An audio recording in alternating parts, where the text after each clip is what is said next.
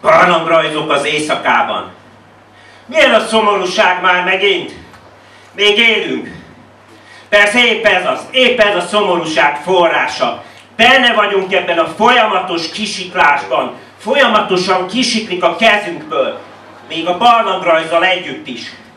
Bár a barlangrajz azért rögzíti. Rögzíti a folyamatosan kipergő homokot. A barlangrajz az ősember szlemje. Az ókori demokráciában az agórán szlemeltek. Csak ne pontozták volna le Szokratészt. Még ha nem is érvelt elég jól a szólásszabadság egyik alaptörténetében, a védőbeszédében. Talán szándékosan nem érvelt elég jól szemben a nagy többségen, szemben mindenkivel, mint John Stuart Mill magányos különvéleményűje, akit Mill szerint hagyni kell beszélni, még akkor is, ha tényleg téved és az összes többi emberek van igaz a szemben az ő jeges magányával. Hagyni kell beszélni, hogy az igazság ne váljon hol dogmává.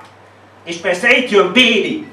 Na nem a kőkorszaki szaki, hanem Kálai Béli, akinek a fordítása Mill on Liberty, a Szabadságról című 1859-ben megjelent művéről épp 1867-ben a kiegyezés évében látott napvilágot. Béli később Bosztia Kölcs kormányzója lett de vissza a szabadsághoz.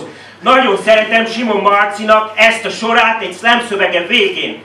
Nekem marad a kedvenc idegem szavam a szabadság. De most, mikor jönnek ezek a sorok, mint napsütésben a villamosok, vagy inkább biciklisek és gyalogosok, de semmiképp sem közvetlenül is környezetszennyező járművek, rájövök, nem értek egyet Marx ezen sorával, persze valószínűleg ő sem ért egyet vele, ő is tudja, én is tudom, mindketten tudjuk, ti is tudjátok, mit tudjuk. A szabadság az egyik legszebb magyar szó. Itt van a levegőben, itt van minden porszemben, itt van a naplementekor a felhőket vörösre festő nap sugaraiban. Itt van a történetünkben, a közös történetünkben. Akkor is itt van, amikor senki sem érti amikor tüntetéseken simán lehet úgy biztatni az ellenzéket a következő választások megnyerésére, hogy a szónok közben jókiadósan kidiktatúrázza magát. Az egyik legszebb magyar szó akkor is itt van, amikor még mindig a depresszió ábrázolás bővített újratermelése a divat, ami most is megmondja, hogy ki vagy, pedig kilenc betű, két S, egy C, két A, egy B, egy D, egy A és egy G, összeállva a szabadság szóvá bármikor készülni, nem kell beállni a sorban, lehet gondolkodni is.